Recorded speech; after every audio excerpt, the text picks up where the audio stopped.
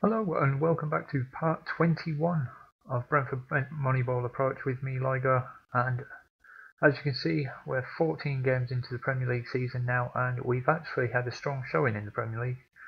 Six wins, three draws, and five defeats. And the five defeats, we had a disappointing one against Fulham. Other than that, four to be expected ones really against City, Chelsea, Liverpool, and Arsenal. And that's left us in ninth place as we come into this game against Sheffield United. Not much team news. Uh, got a couple of injuries going on at the moment. Mialga out due to return tomorrow. Uh, Rico Henry picked up a dislocated shoulder and he's out probably two to three months.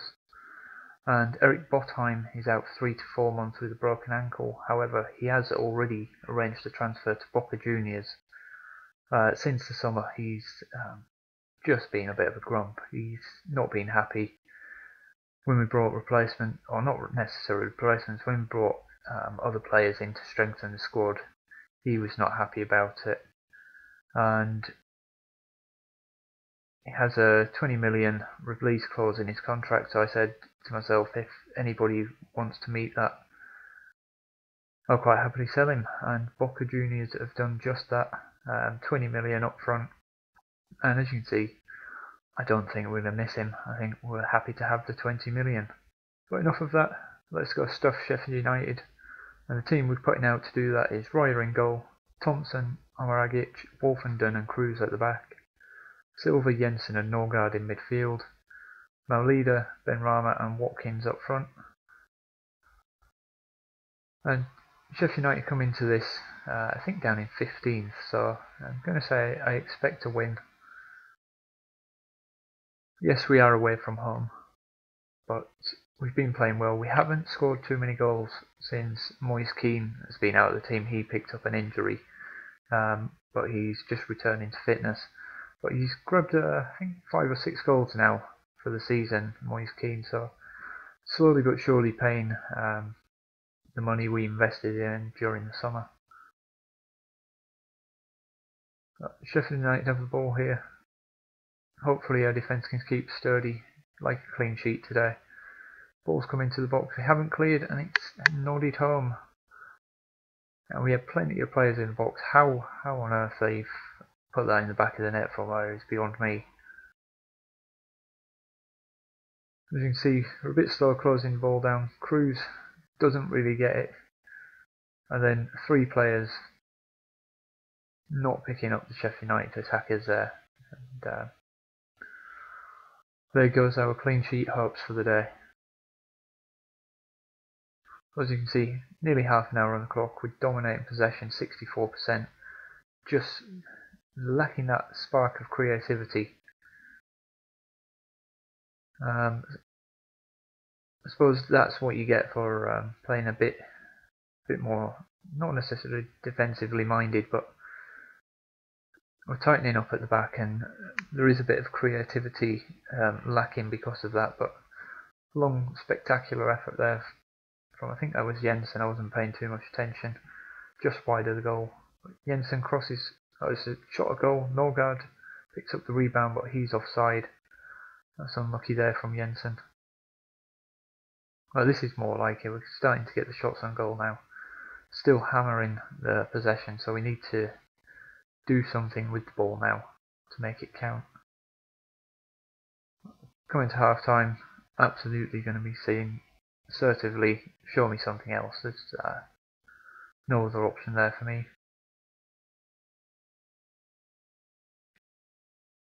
Sheffield United come out on the attack after the second half restarts. They work it wide, and what a goal from Jack O'Connell. Uh, we've left him unmarked and he's absolutely punished us there. And just as I was praising the defence, having a shocking day at the back. And what I'm going to do is I'm going to switch this up. I'm going to go a bit more direct.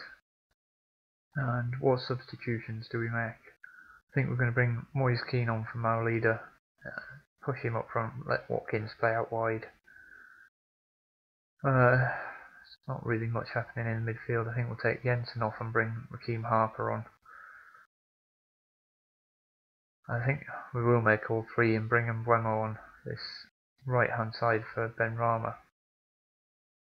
And I think just appalling. Going to have some creativity.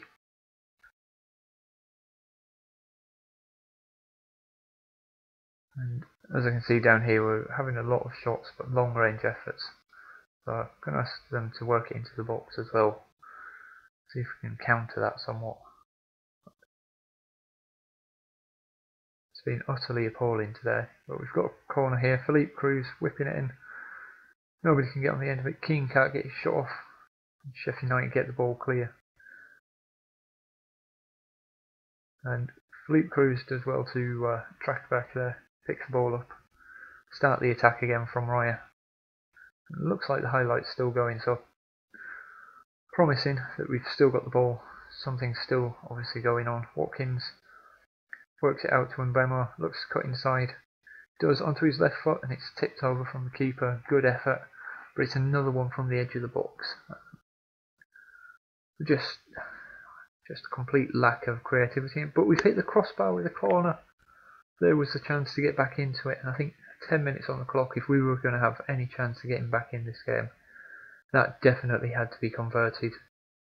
And the resulting corner is a bit of a tame head at that time. And I'm going to go to very attacking. There's uh, nothing to lose now, but probably our dignity. But we're already 2 0 down. Felipe Cruz coming down this right hand side. Beats one. Short pass inside to Mbeumo. Decides to slow the play down. Back to Bernardo Silva, but he finds Watkins on the left. Can he beat his man? He chooses not to, crosses into the box. Norgard with a header from the penalty spot, and it's wormed its way in that bottom corner. Uh, the keeper probably should have done better there, but I'll take that. And we're in with the smallest of chances We've got five minutes on the clock, but I don't think that's going to be enough. And comes to a miserable defeat over in Sheffield. And far from pleased with the team. Seems to have fired them up, but it's not really done anything. And I thought Sheffield United were doing better than that. They were bottom of the league and we've gifted them three points. That was a game that we have to be winning. But we're coming up to halfway through the season, uh, 10 points clear of the relegation zone. So we don't look to be getting dragged into that relegation battle. But keep giving away games like that, throwing points away, we could be in a battle before long. But if you want to see what happens in the next episode, don't forget to hit that subscribe button and thank you very much for watching.